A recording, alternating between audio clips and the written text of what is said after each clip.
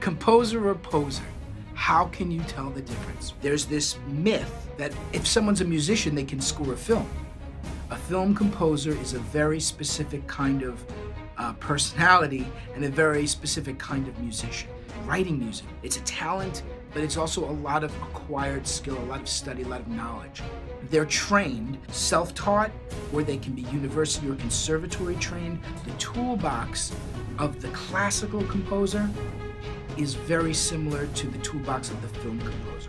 They excel at a number of musical genres and they have this dramatic sense of when to start music, when to change music, and when to stop the cue.